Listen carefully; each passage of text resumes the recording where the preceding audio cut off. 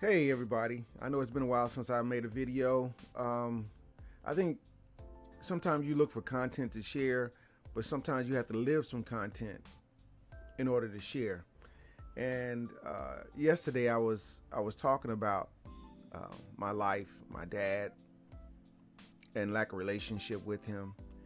And this person said to me, "You're emotional.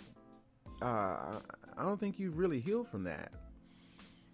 And your relationship between you and your parents ain't the regular relationship where you chalk it up and charge it to the game. It is the people who have made you that you you you you mourn the the death of a relationship between them or lack thereof a relationship between them. I don't think you can really heal from that. And and looking for um uh, a, a thoughtful way of moving beyond your parents, it's not the same as moving beyond a divorce or a relationship. It's not the same.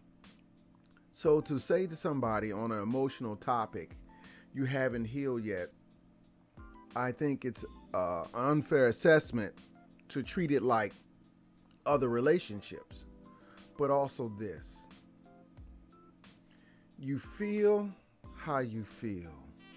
And one of the worst things I ever did in my life was not to expose how I felt. And in sharing how you feel, you really help yourself to, I guess, feel better. Not becoming emotionally constipated by saying I'm good by just holding back on how you really feel instead of releasing how you feel. Do not ask an emotional question and not expect an emotional answer. Be exactly who you are. That helps you to live your life. It's not going to change the outcome of the past, but what it'll do is it'll allow you to actually feel exactly how you feel. And as a man who grew up not sharing how he felt, which made me uh, a victim of myself. Today, I will tell you how I feel. I will tell you it hurts, and I will express that it hurts because I'm human. This is the problem we had for decades about men. You don't want us to show our feelings, but when we show our feelings, you say we're in our feelings, and but we're in our feelings, and that's a good thing. Just don't contribute to the emotional feelings that you're about to see. You sit there, you listen, and you learn that man. Healing is not magical. Coping is not good either. Coping is wishing it away or letting it go and stuff like that.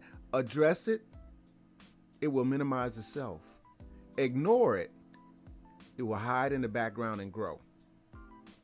So, I just want to talk about healing today. And some things never heal. They can be understood, but it doesn't hurt to feel it. Peace.